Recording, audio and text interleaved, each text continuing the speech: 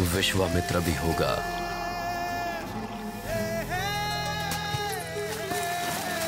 मेनका भी होगी। पर युग नया होगा। दास्तां नई होगी। आज के विश्वमित्र और मेनका की प्रेम कहानी। पिया अलबेला शुरू हो रहा है 6 मार्च से। सोमवार से शुक्रवार रात 8 बजे ईस्टर्न और शाम 5 बजे पैसिफिक, सिर्फ़ जी टीवी पर।